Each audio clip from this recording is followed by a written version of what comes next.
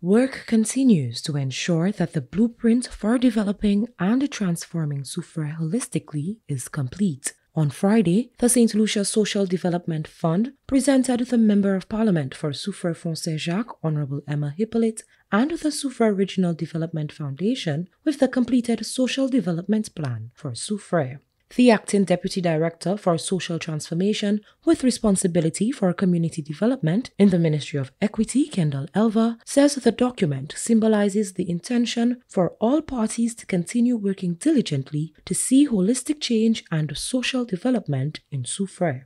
The plan is one which is intended to ensure social protection, and by this, I believe what we need to understand is that Every community is affected by several risk factors. Persons are negatively impacted by several vulnerabilities. And as it relates to social protection, it, it, deals with identifying these risk factors and vulnerabilities and trying to mitigate the impact, trying to prevent these sorts of adverse conditions from negatively impacting the people of Soufrière. The Member of Parliament for Soufrière Fond Saint Jacques, Honorable Emma Hippolyte, called on all stakeholders to ensure that the blueprint is used and not just shelved. Based on the response and what we get out of that survey, we are going to use this methodology across all constituencies.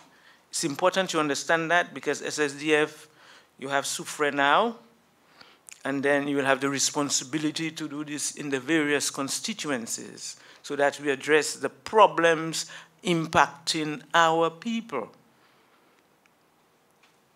Because it's one thing for us to have um, progress and we see buildings and we see infrastructure and we do not understand the development of our people.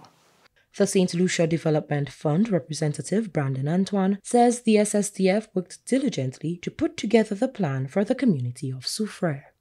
At SSDF, we will continue to partner with you, with Soufrière, with the Soufrière Regional Development Foundation and the Soufrière Constituency Council to ensure that this plan is implemented.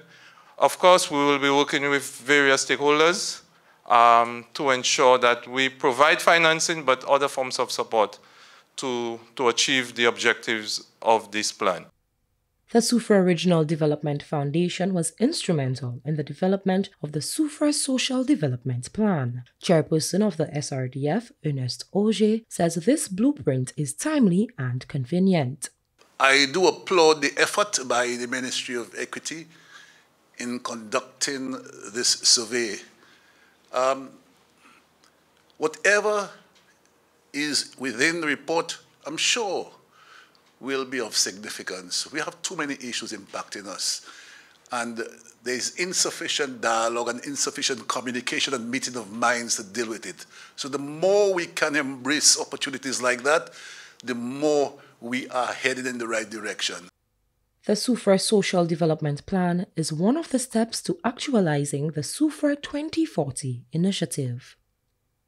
From the Soufrière Regional Development Foundation, I am Genevieve Gonzague.